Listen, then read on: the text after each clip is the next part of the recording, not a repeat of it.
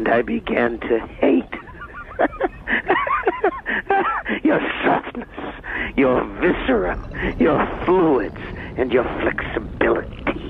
And you five, you five are, and you will not die of it. That I promise.